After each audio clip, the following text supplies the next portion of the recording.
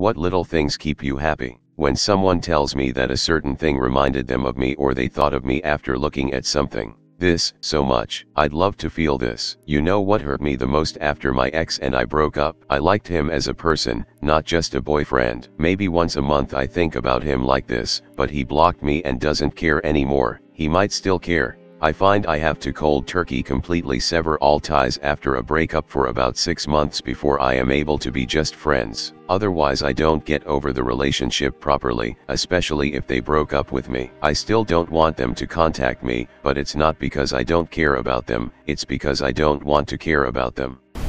If I brought up something in a conversation about what I wanted to do and the next time we meet the other person asks how it went, it makes me feel good and I actually feel like I exist. I work in the film business, constantly changing crews, you definitely make friends, but you might connect with someone and not see them for years. I had an assistant, Tara, she never forgot anybody's name, ever, she could meet someone four years later, throw open her arms, and gust. For example, Evan, how is your wife? Did her catering business work? And your daughter was graduating last time we saw each other, has she graduated yet? She never forgot a name, a face, or a detail. I have never seen a person more loved and more loving. I am the opposite. I was her boss, and I guess I flatter myself that I have always had to ponder the more difficult things that we were dealing with. Tara was an inspiration. Years later, we both have kids, and things have changed. She has become a psychologist. Man, the people that will walk into her office have no idea how fortunate they are.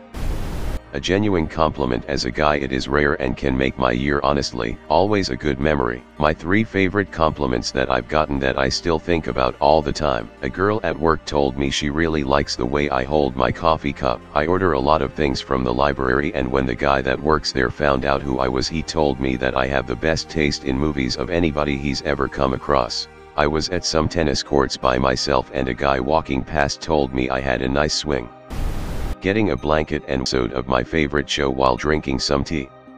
It's also the routine and anticipation throughout the day. Knowing that, whatever BS happens throughout this day, in I'll be home chilling without having to worry about a thing. Without having to worry about a thing, how can one learn such a power? I feel like I'm always stressing coming up. There is a time to think, worry, and do. Is a time to not. Separate those times with some sort of self. Getting a blanket and watching an episode of my favorite show while drinking some tea. It's also the routine and anticipation throughout the day. Just knowing that, whatever BS happens throughout this day, in 12 hours I'll be home chilling without having to worry about a thing. Without having to worry about a thing. How can one learn such a power? I feel like I'm always stressed about something coming up. There is a time to think, worry, and do, and there is a time to not. Separate those times with some sort of self-serving ritual like blankets and tea, a book, and your dog, or paint and a canvas, or video games and Doritos. Whatever your little hobby or comfort is, take that time to tell everything else to fuck off. Generally this is a time where even if you found the perfect something to do, it would not be time to do it, so might as well self-care instead. The fact that my cat sleeps at the foot of the bed on my side whenever I'm in bed. She's not very outwardly affectionate, so it's sweet that she tries to be close to me when she thinks I don't notice. My cat growing up did this. My feet still get cold without him. Miss ya buddy. My cats tried to sleep right night next to me. They learned that was a bad idea. I rolled over in my sleep and right onto them. I woke up to screaming and confusion. After that, they slept right above my head, or right below my feet.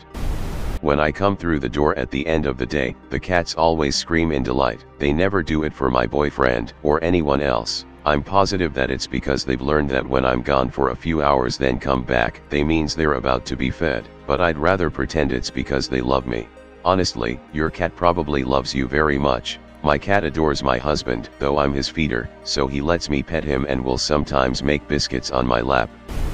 When someone says I smell good, I sweat a lot and constantly fear that I smell bad, even if I haven't done anything to make me sweat. So the random compliments I get on my cologne or deodorant or whatever make me feel better. I tell myself I don't smell bad, I know that I don't, but it's that constant, nagging but what if, that always gets to me. I have been wearing Armani cologne since middle school because the girl I was obsessed with said I smelled nice. I went through the same for a year back in high school. I was using a friend's cologne because I was afraid that my mom could smell weed but then I went to class and my crush told me that she just wanted to hug me because I smelled so good. Bought that shit the day after and used it for a year until I couldn't stand it anymore.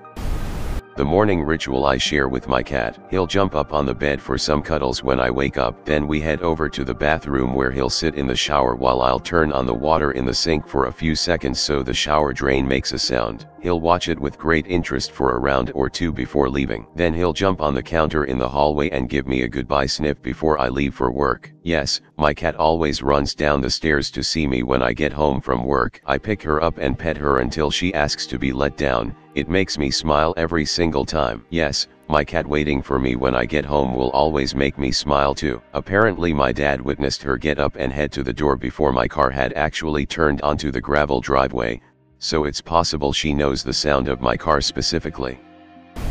Seeing people I care about smile, a good beer in a warm building when it's freezing outside. The uncontrollable urge to toss an arm around around a fellow man after a few beers and just tell him he's a great guy who deserves the best. Hearing someone call me useful, literally anytime someone smiles when they spot me anywhere, that shit keeps me going for weeks. Don't really hear this one that much these days but absolutely just hearing that I'm cute slash physically attractive would make me happy for like a month at a time, even if we weren't dating and nothing came of it. Your comment made me smile, so you're useful. Yours made me smile too. Laughing face.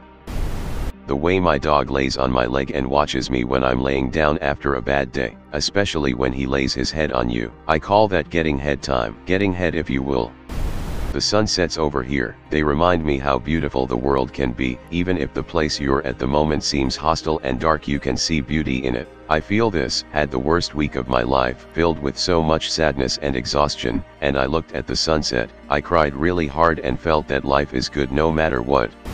Okay so at my school's lunches you're allowed to do whatever you want as long as no one gets hurt there's no drugs and you don't get out of your seat. So my friends and I play Uno every day. Now this has resulted in a few things. A. There's a group of 6 kids who are just randomly fantastic at Uno from playing every day for 3 years. B. People know us as the Uno table and if someone has no one to sit with they play Uno with us. It makes me happy when a new kid comes and sits with us cause we know we may have made a friend. None of us knew each other before this Uno thing, and we may have just made this kid's day by giving them a place to sit when they're trying to navigate a new school. Also the school resource officer plays with us once a month and always manages to win. Thank you for not forming an unapproachable lunch table clique. You all are the real HS heroes. It's not the 90s slash 00s anymore. The coolest kids are the warmest slash welcoming slash smart ones. Times have changed for the better. Thanks fuck her throat. Showers. I love showers. I once went on a mission trip to Jamaica and the place I stayed at was considered fairly nice, and they even had issues with water supply. I would be shampooing my hair and suddenly the water would just shut off. Access to warm running water is a luxury. I am always in disbelief that I get to come home to a warm shower every night. For those of us who can, don't let that little gift go unnoticed. It's truly a privilege. Watching a dog sleep on its back cockroach style. They look so carefree and silly.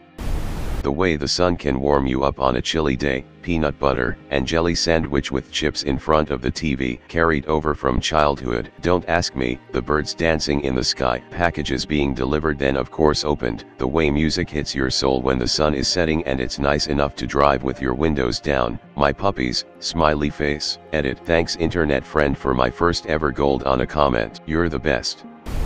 When my friends text me first, yo where are my if I don't text first nobody will text me or invite me for anything or remember I exist nobody besides family cares about me haha nervous laughter homies. Unfortunately I realized how much of an initiator I am in 90% of my friendships when I moved 3 states away. Moving was busy and stressful etc so I went about 2 months or so not really chatting with anyone regularly. Zero of my 4 or 5 closest friends texted or called. It was extremely disheartening. I still love them all but it's exhausting sometimes. Also shout out to my mom for never forgetting about me. Edit, we get it, none of you have friends.